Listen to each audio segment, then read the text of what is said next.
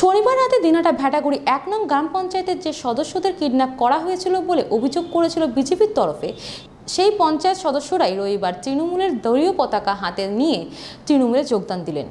এদিন পাঁচজনের হাতে দলীয় পতাকা তুলে দেন বিধায়ক উদয়ন গুহ। বিধায়ক তার নিজ বাসভবনে পঞ্চায়েত সদস্যদের হাতে দলীয় পতাকা তুলে দেন। এমনকি নন জুডিশিয়াল সাদা পেপারে ওই পঞ্চায়েত সদস্যদের স্বাক্ষর নেওয়া হয়েছে বলে জানা গেছে।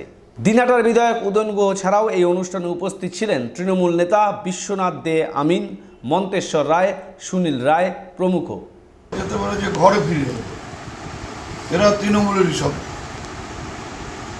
লোকসভা নির্বাচনের পরে এই লোকসভা নির্বাচনের সময়ও আমার সাথে সবাই এরা ঘোরাঘুরি করেছে প্রচারে ঘাটাঘুরি করে এবার লোকসভা নির্বাচনের পরে ভোটের ফলাফলের পর যে ধাক্কা সে ধাক্কাটা একদিকে সন্ত্রাস যারা জিতত তাদের সন্ত্রাস আর একদিকে মানসিক ধাক্কা।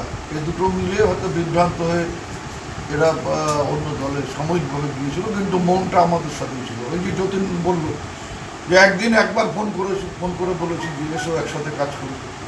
রাজি হয়ে গেছে। আজকে পাঁচজন এসছে কিন্তু ওখানে যারা আছে দশজন পঞ্চায়েত সবাই তৃণমূল করবে সবাই তৃণমূলের থাকে যারা এসে তাদের মধ্যে কোনো পদাধিকারী আছে? সবাই পঞ্চায়েত উপপ্রধান। আছে।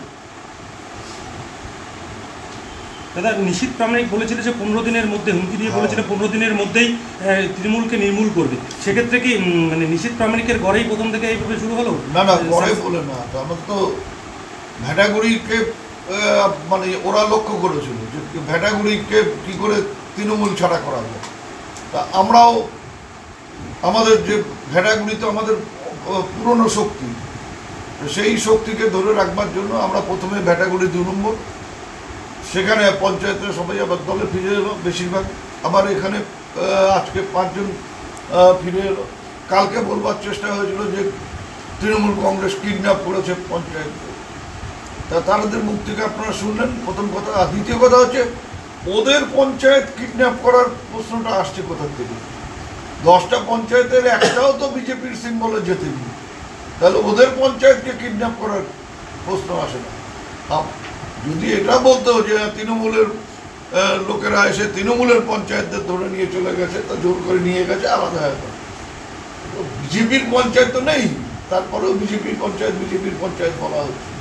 এটা শুধু ভ্যাটাগুড়ি বলে নয়, দিনাটা মহকুমা জুড়ে এই ট্রেন শুরু হয়েছে যেটা লোকসভা নির্বাচনের পরে কোথাও কোথাও আমাদের দল ছেড়ে ভয়ে হোক, বিভ্রান্তিতে হোক, তারা বিজেপিতে যোগ দিয়েছে।